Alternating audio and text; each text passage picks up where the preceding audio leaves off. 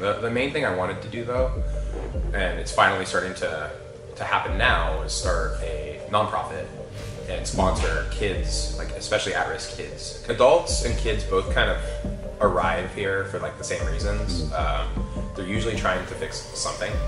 And this helps a lot of people address different facets of their, lives that are maybe causing problems for them or, or they, they, they see that there's something kind of budding and they need to, to redirect their mentality or their direction.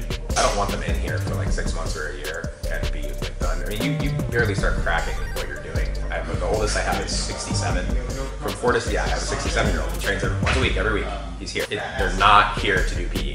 Like I escaped that. You escaped that. Like we're not in high school and middle school anymore. I don't want to do that ever again. so yeah, so our, our, our um, I recommend any parent that wants to start their kids in martial arts so that they know what to look for and what actually works. So I use this example all the time. Like if you have a friend and every time he picks up a hammer to like nail something in the house, right, or like outside or whatever, and every time he picks up the hammer, he hits himself in the hand.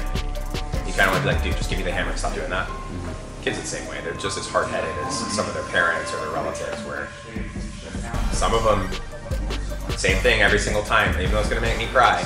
It's it's a lack of self-awareness. That's why they have structure. If you, if you ask a kid, what do you want to eat for breakfast? What are they going to answer every single time? Ice cream, candy, something like that. So we can't let them. They can't dictate their own lives. They don't have the self-awareness or the time in to understand consequences, right? So there's some progression sometimes. It depends on the child. Each child is different. The biggest factor, in my opinion, though, is parenting. Like anything else, man, you'll hit a wall and you don't really realize that you're in this cycle. And sometimes you need somebody else to be like, hey, man. yeah, have you ever noticed every time you pick up that hammer, you hit your, your hand really hard and complain about it for like a week? Why don't we just not do that? Everybody has their own starting point in this and everybody has their own direction once they do get started. And it's fascinating to see how pretty much all of them that stay end up going like, okay, what's the next one? And then they,